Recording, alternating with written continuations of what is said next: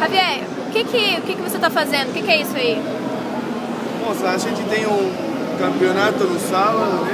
E a ideia vai ser que o robô tem que seguir uma linha que a gente vai ter no chão Aham. e procurar a fonte de luz mais perto dele. A gente está fazendo, tem que fazer o robô aqui mesmo na Campus Party, não tem como fazer isso fora. E isso. O, o evento vai ser no sábado, acho que vai ser pela tarde e a gente está fazendo um robô porque hoje às 8 da noite tem que fechar o robô, então gente tem que fazer rápido. Você começou a fazer quando então esse robô? Na terça. Na terça-feira, né? Coloca aí pra gente ver como é que estão sendo os ajustes.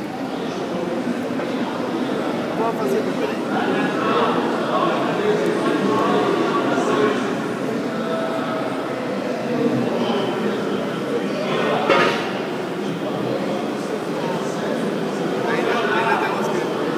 her.